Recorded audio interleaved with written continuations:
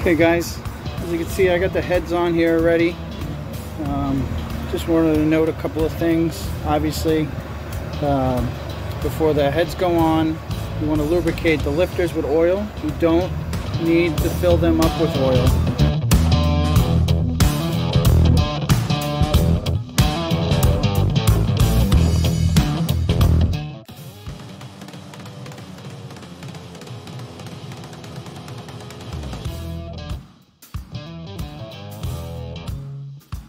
Um, it's a big thing when you're breaking in the camshaft. You want it to. Uh, I think the theory behind it is the, the lifter, without having all the oil in it, is not putting a lot of pressure on the camshaft until the oil can get up to the camshaft, splash around to give it some lubrication. Uh, that has to do with engine braking. Um, so, like I said, just put a little assembly lube or uh, you know, engine oil on the lifters when you put them in. Make sure you put the lifters in the right order. This engine here is an MDS engine. Um, so if you're looking at the front of the engine, the two MDS cylinders on the right bank or on the passenger side are the two middle cylinders.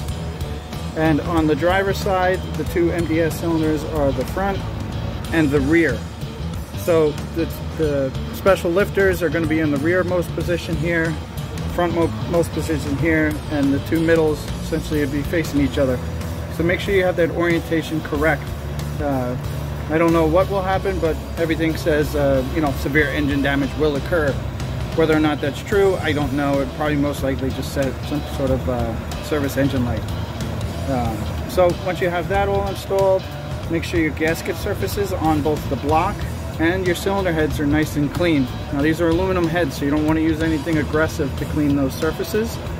Um, the block, I mean, you don't want to go nuts with, you know, crazy angle grinder or anything. I like to use like 3M, uh, almost like Scotch-Brite on a little disc, and they make a special 3M pad for aluminum. Sort of looks like a cup with fingers. Removes all the old gasket material and such. So once you got those all cleaned, wipe down your cylinders, all the dirt, debris, everything like that. Uh, always use new cylinder head bolts. These are torque to yield.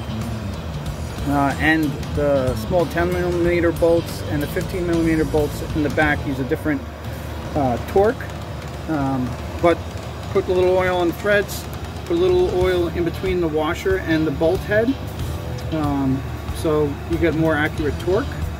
And then the bolts themselves sort of follow like a clockwise pattern. So if you started from the middle, one, two, three, four, five, six, seven, eight, nine, ten, all the way around.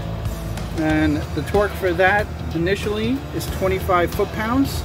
So go ahead and do uh, 1 through 10, 25. The 10s on here get 15 foot-pounds. Uh, same sort of scenario, one, two, three, you know, working your way from the inside out. Then on the out, on the 1 through 10 bolts, those are going to go to 40. You're going to retorque the 10s again after that to 15. And then finally, the 1 through 10, you're going to do an additional 90 degrees. Uh, what that means is, say your, your wrench is facing this direction, you want it 90 degrees from that point tight. You're to do that 1 through 10. Uh, they do make a special uh, turning indicator. It's essentially a dial indicator, you know, with a pointer on it so you know exactly what 90 degrees is. Um, you don't need it if you're very careful, you know, you, you, you see where it is, you know 90 degrees, get it close. And then the final torque on these 10s here is 25 foot-pounds. So once you have all those torqued, uh, it's onto the rocker arm and, and push rod.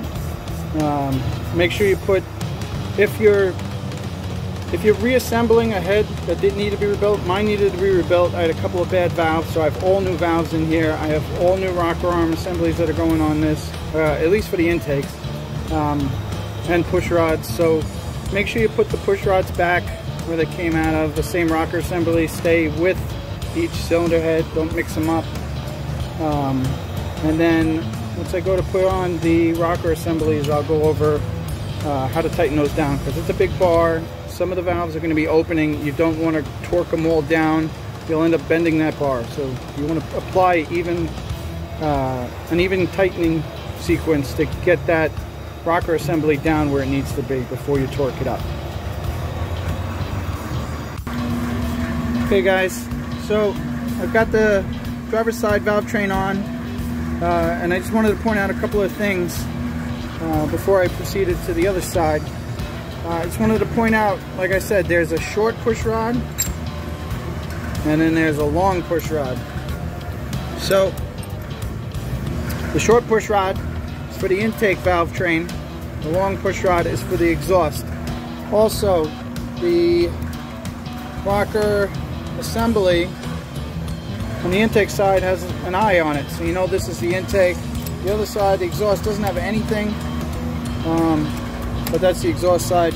I replaced the intake on mine because the pad here, which contacts the valve, was actually badly pitted on the intake. Um, on both the valve itself and on the rocker arm. So if you have a cam that is round, like I did here, you know, the lobes were ground away, do yourself a favor and check to make sure that these aren't pitted, there's no other wear. Um, fortunately, like I said, I had to replace a couple of intake valves that were hung open. Uh, they ended up getting so hot they cupped, they weren't making a seal, you know, long story short. Um, but the valve train itself on top was bad. So I went ahead and I bought two brand new uh, intake valve train assemblies. Um, so the only other thing I want to point out, like I said, when you put these on, there is a special tool. It's supposed to hold the push rods where they belong. So it's a little tricky without that tool. You got to make sure they fall into the, the cup in the valve train before you tighten them down. And then like I said, you know, the engine is opening certain valves depending on where you are. Now this one's still set at top dead center, um, but when you tighten down these 10 millimeters, go even, use a wrench, don't use an air ratchet or anything to drive those down, otherwise you're going to warp this. Um, you know, for instance, this valve here is starting to open, so this bolt here I had to tighten down a little bit then I moved down, tightened these down a little bit, and worked my way back and forth till it was all the way down. Once I have them all set, both sides, I'm to take the torque wrench and I'm going to torque these down to the specifications uh, in the manual. But I just want to make sure you understand, tighten these down so this bar goes down nice and even. You know, some of the valves are open, some of the valves are closed. The closed ones obviously are going to have less pressure on them well, realistically shouldn't have any pressure on them.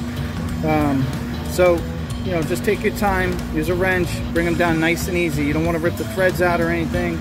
You don't want to bend that bar.